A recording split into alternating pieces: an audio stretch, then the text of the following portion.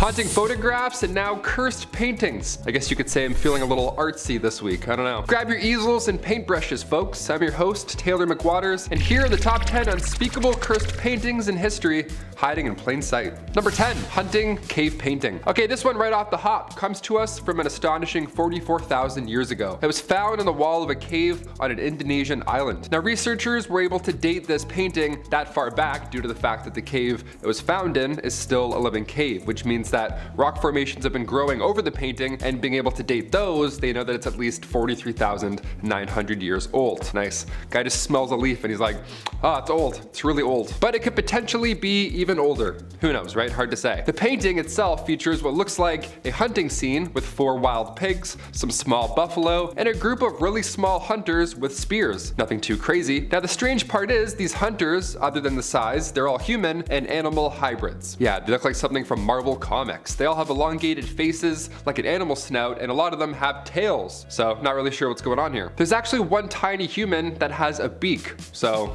it's interesting, but again, we have no idea. We don't really know why they depicted the hunters this certain way or why the animals are so much larger than them also, but there's also no other usual signs of human life found in the cave, like bones or hunting tools, anything like that. This cave may have acted like some sort of special or sacred spot for them, but a sacred spot that only holds a strange hunting painting? I don't know, it's a little bit creepy. We need to know more, but unfortunately, it's 44,000 years old, so we'll never know. Number 9. Giants in Egyptian Paintings. This one is less of a specific painting and more so just a feature that is seen in a lot of ancient Egyptian artwork, so I figured I'd give it a mention, especially in this list. There's a common theme of giants in a lot of these paintings. Now this may have been a representation of people being a higher status, or they could have been literally describing a god, but many believe that this may be a sign that there really were giants in ancient Egypt. And considering how strange the pyramids are to us still to this day, and how little we really know about their construction, there's actually a fair amount of steam behind this theory online, so I have to mention it. How can we say for sure that there weren't giants? Know what I mean? In 2017, researchers also found the supposed remains of Sa-Nakht, an ancient Egyptian pharaoh. This also could be the oldest known giant. It is a skeleton with gigantism. So again, a lot of history in between that we'd love to know, but we don't because all we have is bones and temples and we're like, ah, no idea. No clue what happened. Number eight, vandalized cave painting. Ooh, here we go. This is what you don't do. Here we go. This painting is the oldest known painting in India and it was found on the walls and ceilings of the Sittanavasal cave. Now, it was originally believed that this painting was first created in the first century BCE. Now, the paintings depict things like human figures, fish, elephants, birds, different floral patterns, all that kind of stuff. It is said that another artist ended up drawing over the original, which is an incredible shame and honestly, just a dick move in general. Even today, we don't do that with graffiti. If a graffiti artist does that today, that's it's game over. I played Grand Theft Auto, it doesn't end well. These paintings have been severely vandalized and a lot of the areas are in quite bad shape. There's something about paintings, especially paintings that are this old, that makes me feel like they should just not be touched, let alone painted over at all. Because the Sittanavasal is a rare site. It's a Jain temple of the Pandyan era, so yeah. If you did this, you're definitely cursed. If you painted over, yeah, you're cursed. For sure cursed. Don't touch things. Stop touching things. We can't even breathe on some of these cave paintings anymore. You know what I mean? We can't literally look at them because our breath is gonna break them apart. So just leave them. Number seven, Brazil caves. This is an interesting cave painting because of the fact that it's widely debated when exactly it was created. Yet most of the time we're all arguing about what the image is, you know, because it's art. But this time we're talking about when the image was. Haha, mixing it up a little bit, how fancy. The Serra de Capivara National Park is located in eastern Brazil, and it is the home to a bunch of different rock shelters that are decorated with incredible and elaborate cave paintings. This area includes scenes of rituals, hunting, trees and animals, and some scientists believe that the oldest of the paintings date back to at least 25,000 years ago. So long, I can't even fathom how long that is. Now there are others who argue this because that would go against what we currently believe is the date of human settlement in the Americas, so there's art telling us one thing, and then there's people telling us another. Then there's me telling you both, going, hey, hey, hit that thumbs up, subscribe. I'm just in the middle of history being like, hey, check it out.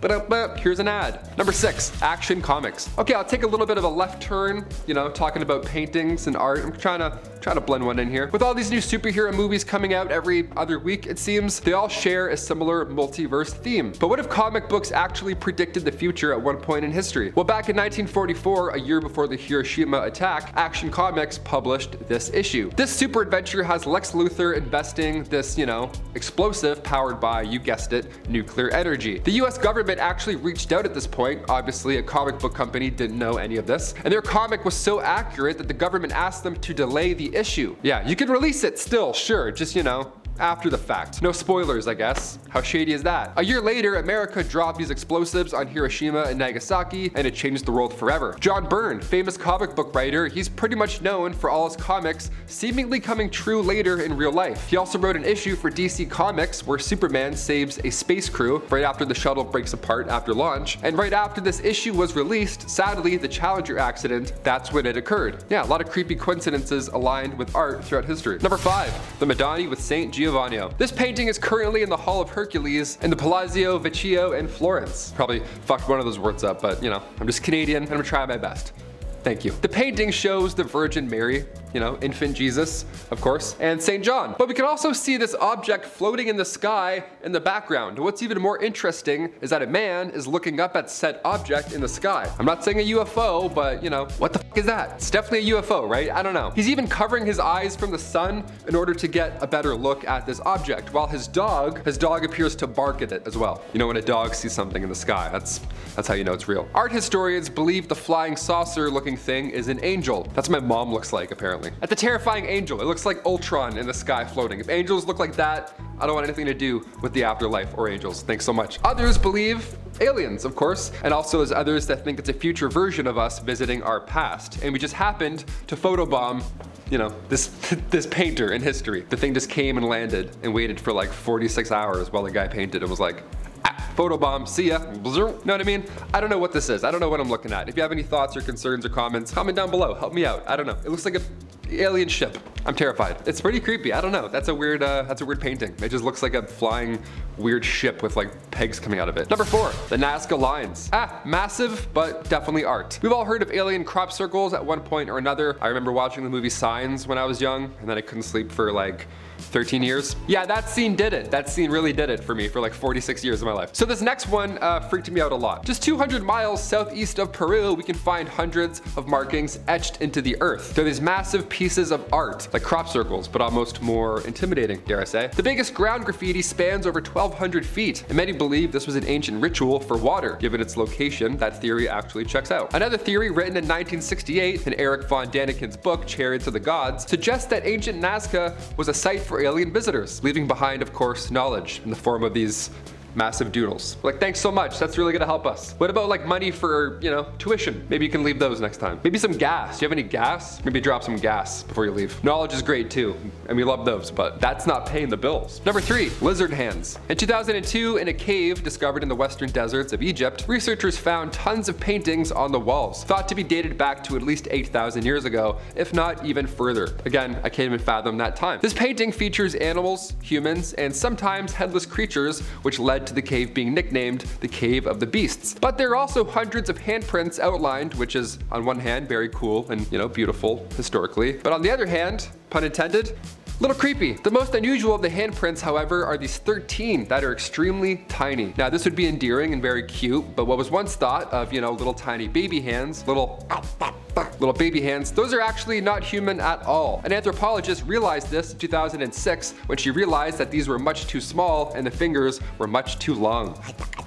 So yeah, definitely lizards. It is also thought that these handprints may belong to lizards or perhaps baby crocodiles, but we still aren't really sure because again, thousands of years ago. It is definitely interesting and kind of fascinating to see all these handprints on the walls of the cave, of course, but it definitely carries a mystery behind that we'll never know the real answers to. Imagine holding an alligator up for that long to do prints, that'd be so scary. Just breathing and stinky alligator breath. You're like, ah, stop. Does that alligator turn? I've seen that on Reddit quite a bit. A lot of people getting fucked up by alligators lately on Reddit. Number two, Medusa. Next painting comes from Caravaggio. We all know the story of Medusa, right? The woman with snakes for hair that when you look at her, you turn yourself into stone. That good, nice bedtime story we all remember. And this painting really captures her essence and beauty, right? That look in her eyes. It's almost like you get chills just from this depiction, right? This painting was meant to be a depiction of the defeat of Medusa. So nice happy ending for us here watching at home. The legend goes that Perseus, who was the son of Zeus, he was given a shield by Athena. Now he took said shield to battle Medusa and he managed to outsmart her by letting her catch a glimpse of her own face in the reflection reflection of the shield. Yeah, gotcha. You played yourself. And then she turned herself to stone, and this is when he took his sword and then beheaded her. Yeah, he kind of He, off with your snake head. This painting was created by Michelangelo Merisi de Caravaggio in 1597, and it was actually his second of the kind, so yeah, we love a man with a theme, apparently. Just loves headless Medusas. I just beat God of War a day ago, so this painting gives me all the emotions and all the feels in real life. It makes me believe a woman with snakes for a head actually existed. I don't know. Do we believe that? I kind of believe that. Don't look behind you, she's behind you. Number one, the hands resist him. Okay, here we go, finally, last one on this list. You've made it, you've been brave, you've been bold. Hit that thumbs up, not for me, but for yourself. A little for me and us at the channel and all the hard work we put into it, but also for yourself. Painter Bill Stoneham created this work of art back in 1972, and it's most famously belonged to actor John Marley from The Godfather. He's the guy who wakes up with the horse's head in his bed. Him. Yeah, you're like, uh, oh, got it. There he is. He got this painting at one point in history, but later it was found on eBay all of a sudden with claims that it was cursed from an anonymous previous seller. Okay, little interesting. The painting was found abandoned in an alley behind a brewery, which is pretty promising off the hop. Almost immediately, the family who bought it claimed to have seen people in the painting move. And on top of that, apparently the figures would leave said painting and then mess up the house and then go back in. That's a bold excuse for a messy house. Should have used that when I was younger. Yeah, I cleaned up earlier, but it must have been those uh, painting guys. They came and had a party and then went back into their sailboat where they froze again for the night. This is terrifying, but is it believable? Let me know in the comments. In fact, let me know all your comments, thoughts, and concerns. It's spooky season soon, so we're gonna crank up the scary content on this channel just a tad. So if you already haven't hit that subscribe button, I got you. Go ahead and hit that. Take your jacket off. Stay a while. I'm your host, Taylor McWatters, and I'll see you next time on Bumblebee. Peace.